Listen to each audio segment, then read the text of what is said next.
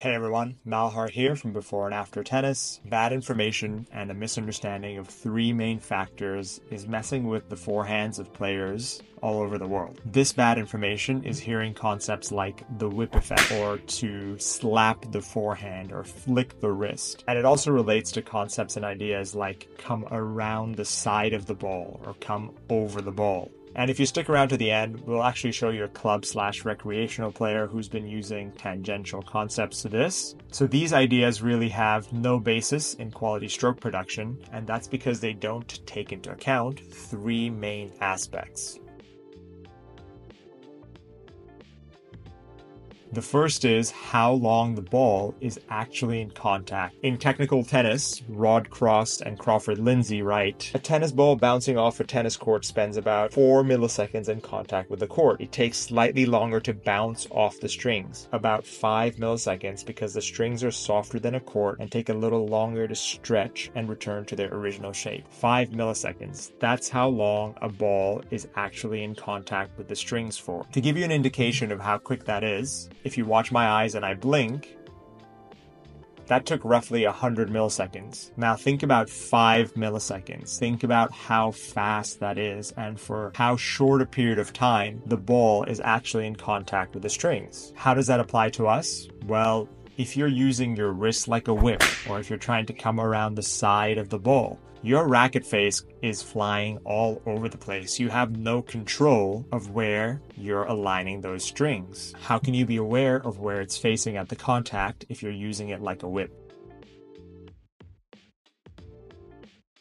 The second idea is that the tennis court from the center is only 19.6 degrees wide. Vic Braden, I believe, was the first person to do these calculations, but the tennis court is insanely narrow. You don't have a lot of space to play around with. If you're messing around with your wrist and letting it lead the swing on your forehand side, you do not know where those strings are going to be facing at the contact. Wouldn't it make more sense to track the strings outwards towards the target for a long period of time as opposed to having them fold across your body too soon?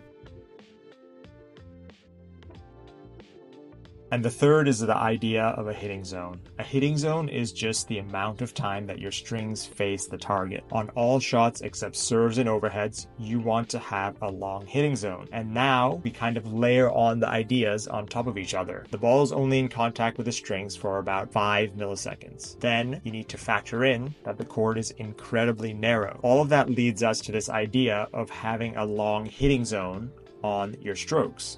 If the ball will always go where the strings are facing, and it's only in contact with the strings for 5 milliseconds, wouldn't it make more sense to track the strings outwards to the target for a long period of time to give yourself the best chance of getting the ball towards the target, keeping in mind as well that the court is only 19.6 degrees wide from the center. So we'll actually take a look at Nadal and Alcaraz's forehand side by side to show you that they really honor these principles when they are hitting their forehands well. A big shout out to Slow Mo Tennis for allowing me to use their footage. They are an amazing channel. Please check them out. The link will be in my description. Okay, so let's watch it together. So great that they have been mirrored onto each other, and they've also been sequence so that both players are hitting the ball at the same time. So let's chat about the first aspect, which is 5 milliseconds. That's how long the ball is actually in contact with the strings. So as we approach the contact here, you'll notice how quickly that ball essentially comes off the strings. 5 milliseconds, that's really how long it's on the strings. Players often see this end part here when the wrist or the hand rolls over and they think, well, that's what I need to do in the swing because that's how the pros are hitting it. But if you really slow it down, I want you to start paying attention to what the strings are doing before, during, and after the contact because you can see that these players are honoring the 19.6 degrees fairly well. And I'll show you what I mean by that. They have long hitting zones and their strings track towards the target. So if we look at their racket faces here, they're roughly facing the target. Again, keep in mind how narrow the court is. You want those strings facing the target for a long period of time. The ball is gone. Five milliseconds, right? Regardless of that, the strings are still tracking outwards to the target. And I'm not saying that players at a high level can verbalize and say that the court is only 19.6 degrees, which is why I'm tracking the strings outwards to the target. What I am saying is that they've been trained the right way so that the strings track outwards to the target and then they fold over. What I see really often is players have a misunderstanding of what goes on here before during the contact and after. We can even create a box here. So if we create a box, we can see that roughly from here to here, Alcaraz's strings will be facing out to the target. So it's not that he could hit maybe in that box, but he could potentially hit the ball anywhere here in this green box and the ball will still go where he intends it to. There's no magic or mystery to it. The ball will always go where the strings are facing. So that's what it means to have a long hitting zone. If we look at even Nadal, I know the image is a little bit blurry, but before contact, look at where his strings are aligned. They're aligned towards the target at contact and even beyond contact. Only here they're starting to turn you need to have a long hitting zone where the strings face the target for a long period of time to play this game at a high level. Now, the hand can only travel so far outwards here, which is why it has to start folding over. But you need to get the feeling of really extending the strings outwards to the target, not leading with the wrist.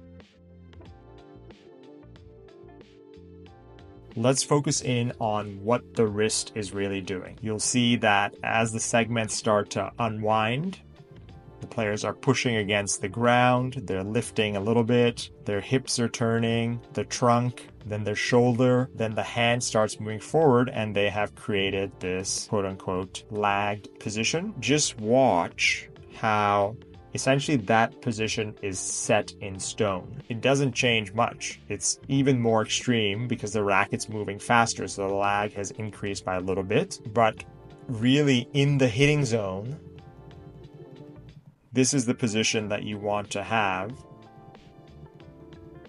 here, you don't want to be leading the swing with the wrist, using it like a whip or trying to come around the side of the ball or slapping the ball with your wrist. You just want to learn to unwind the segments from the ground upwards and have long extension outwards to the target for eventually you have to fold over across your body. And now we're looking at this club player. So thank you, Mark, for being kind enough to share your footage with us. And I really want to focus in on this forehand here. I know the contact is a little bit late, but that's not what we're going to assess. What we're going to assess is this is where the most important aspect of the swing is. But you can see that Mark here thinks that he's imparting topspin on the ball by the way he finishes his hand after the contact. But keep in mind what we spoke about. The ball is only in contact with the strings for 5 milliseconds. That ball is gone, yet Mark might be thinking that he's imparting topspin by rolling his hand across in this manner. Now, I actually asked Mark what he thinks is happening, and he told me that intuitively he thinks he's imparting revolutions on the ball. But that's not the physical reality. That's not what actually happens at the contact. The ball is gone. It's no use doing that at the end. So there you go, everyone. Hope that made sense. Hope that helps you to hit your forehand more consistently and towards your target. Just to summarize the main aspects of this video, 5 milliseconds. That's it. That's how long you have to make contact with the ball, roughly. Then also keep in mind that the court is 19.6 degrees wide, and the last part is you need to have a long hitting zone to play this game well. There's no way around it. Yes, there will be minor differences with what the pros are doing on the ATP and WTA Tour, but there's no real way around it. If you slow down 99% of players, they have long hitting zones where the strings face the target for a long period of time. Otherwise, it would be so difficult to get your ball consistently in the court and towards your target. I hope that all made sense. Thanks so much for watching, and I hope to see you all soon.